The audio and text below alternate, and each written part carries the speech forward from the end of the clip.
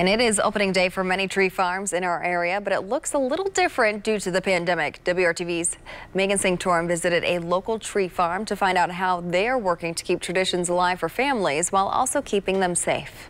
Families coming out to Samble's Tree Farm in Fortville can still walk around and find the perfect tree for their home.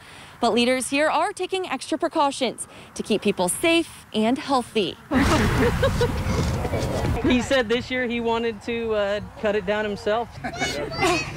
so figure uh, it's it's his turn. It's really hard. this is the day the Chamberlain family has been looking forward to. We've been cutting our own tree down probably now, let's see, 10 years. A family tradition not even a pandemic could stop. They're thankfully allowing us to still be able to get this this year, so it doesn't take that tradition away, unlike uh, the normal tradition of like Thanksgiving, not being able to get a whole group together like we normally do. And but at least we can still hold on to some normality.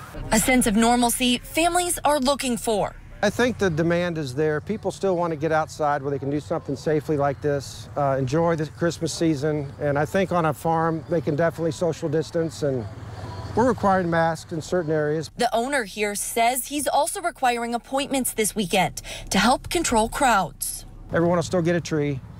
We're just going to make sure that everyone doesn't come out at, at the same time. He says last year they sold more than 400 trees on opening day. This year they'll do around 275. By the end of the season, though, he still expects to sell the same amount of trees or more than years past. There you go, like that. There you go, there you go, there you go. This year's been completely different than any year that uh, I think anybody can even recall.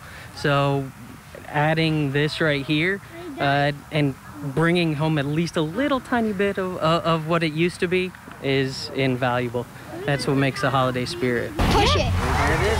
You got it. Working for you, Megan Sanctorum, WRTV.